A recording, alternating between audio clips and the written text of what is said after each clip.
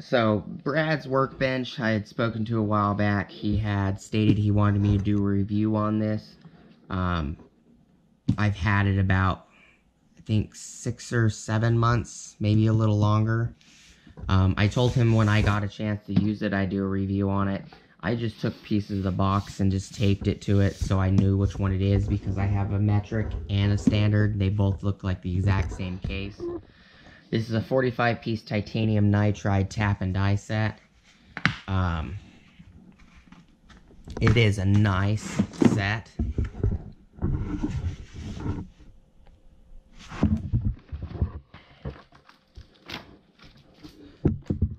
I have used this set probably 10, 15 times. I haven't had any issues with it.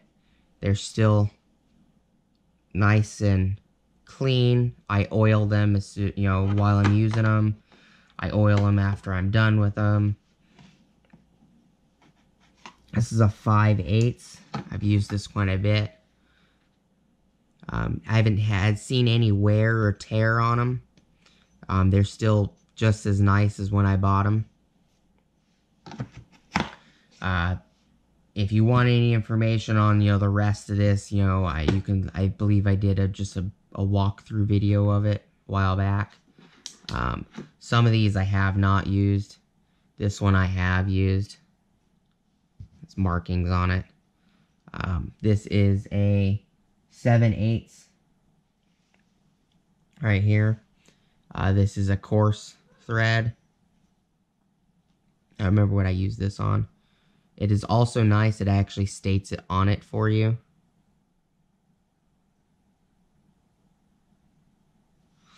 Um, these sets have actually held up pretty well. Um, the dies are still holding up really nicely. I haven't had any problems with uh, any of them. Uh, I use a lot of the fine thread for the standard. Um, I think I paid like 78 or $80 for this kit. Same with the other kit. I paid somewhere around the same price for it. I just usually put the plastic back in it when I'm done. I haven't opened the instruction manual, but you know, who needs the instruction manual? Uh, thank you for watching.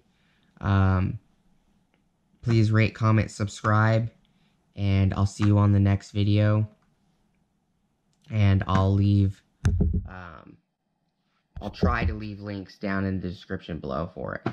Thank you, and you have a good day.